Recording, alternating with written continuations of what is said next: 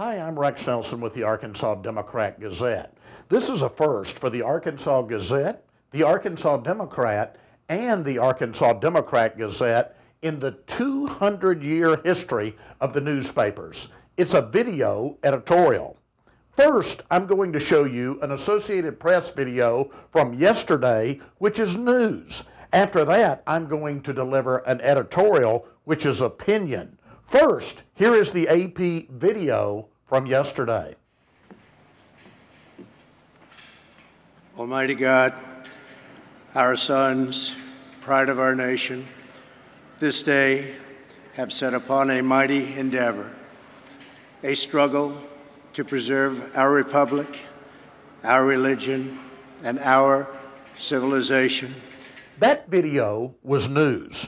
Now for our opinion, which represents the opinion of the Arkansas Democrat Gazette. President Donald Trump was reading a prayer by Franklin Roosevelt, our president, on D Day 75 years ago to the American public. There was no television then, and it was delivered over the radio. FDR was talking about saving our republic, our religion, and our civilization. What did he mean by saving our republic?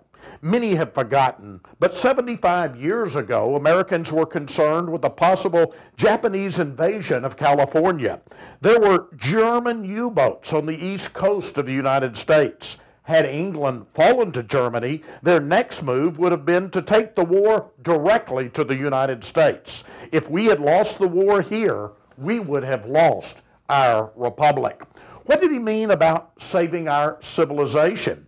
If England had fallen and they had victory in the United States, then all of Western civilization would have been gone, including many of our liberties, such as freedom of the press, freedom of speech, and freedom of association.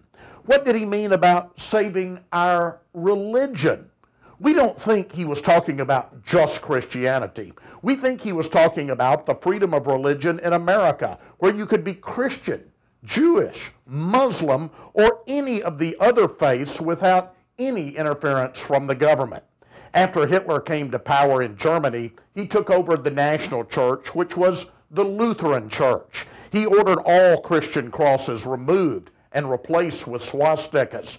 Clearly, he did not believe in freedom of religion, and we would have lost that too in America with a German victory. Freedom is clearly not free.